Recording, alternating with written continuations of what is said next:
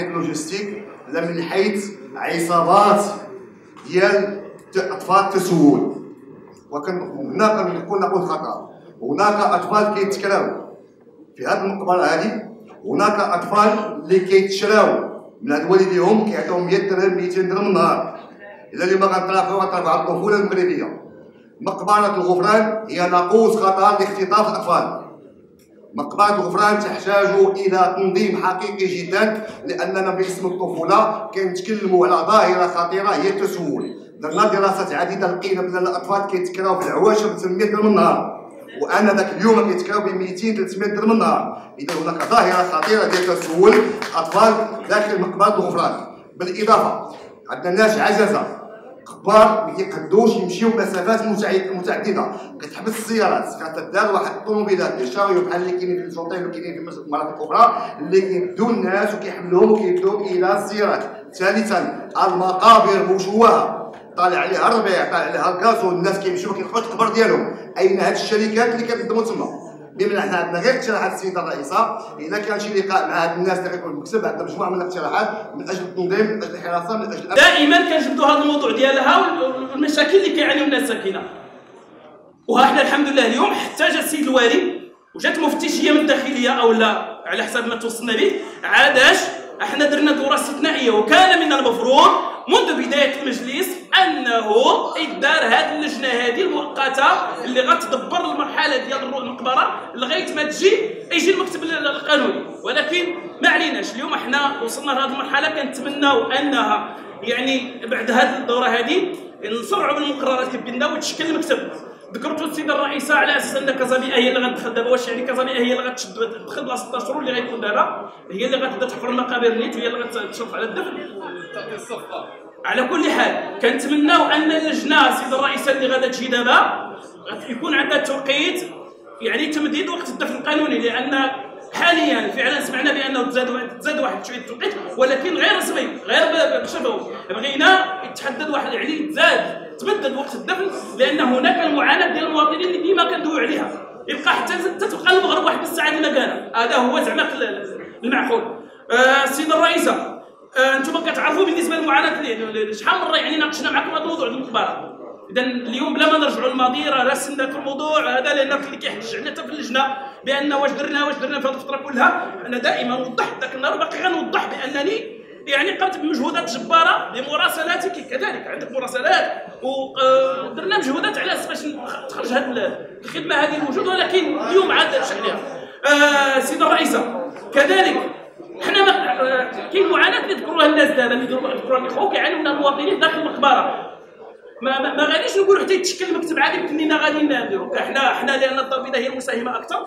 وهي اللي كتدفن أكثر في الروضة وهنا اللي كنعانيو الساكنه ديالها. حتى ملي كتكون دوك الزيارات ولا هذا راه السيارات ما كيدخلوش من المقبره فكنتمناو نفكروا نفكروا مع هذه المجموعات اللي معانا أن يديروا شي آليات داخل المقبرة. شي آليات داخل المقبرة. آليات داخل المقبرة الله يخليك. التنقل ديال الناس الكبار الناس اللي ما يقدروش يتمشاو ان يناط مسؤولية تدبير المقبرة. أو تدبير مرفق الدفن من طرف شركة التنمية المحلية هذا مجانب للصواب لأن نمشينا المواد أو أحكام القانون المادة 130 وأعلاه تشير إلى أن المجلس الجماعي وطبقا لمداولته ووفقا لمقرر وبعد ذلك قرار السيدة الرئيسة إذاك يمكن أن يناط بشركة التنمية المحلية مسألة تدبير مرفق المقبرة أو مرفق الدفن. اذا حنا حنا تنجانب القانون مرة أخرى ملي عطينا لهذه الشركة التنمية المحلية البيئه تدبير هذه المقبرة ديال الغفران بدون العودة إلى المجلس الجماعي. مسألة أخرى. طرحت بين أيدينا وهذا هو النقطة الفريدة للدورة اتفاقية ديال مجموعة الجماعات الترابية التعاون الاجتماعي المتعلقة بتدبير مقبرة الغفران. كذلك للأسف ونحن على منتصف الولاية. لازلنا نتخبط في أخطاء فادحه في صياغه هذه الاتفاقيات. وبدينا من الديباجه والمقتضيات أو المواد ديالها ونشكر السيد رئيس اللجنة أشار إلى بعض الملاحظات التي أبديناها حينها في اللجنة. أنا غادي نركز غير على على على أن اجمع ويجمع وسيظل يجمع الإخوان الأعضاء على أن الإشكال ديال المرفق ديال الدفن في مقبرة الغفران هو تأهيل المقبرة في حد ذاتها.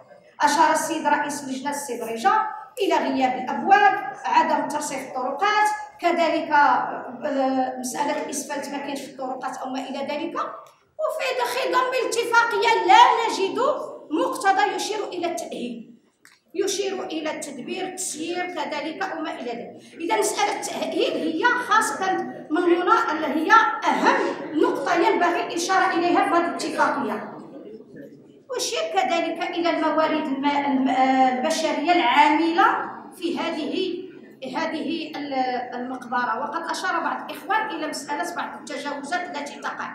أنا الآن أتساءل كيف أن هناك حراس وهناك عاملين وما إلى ذلك.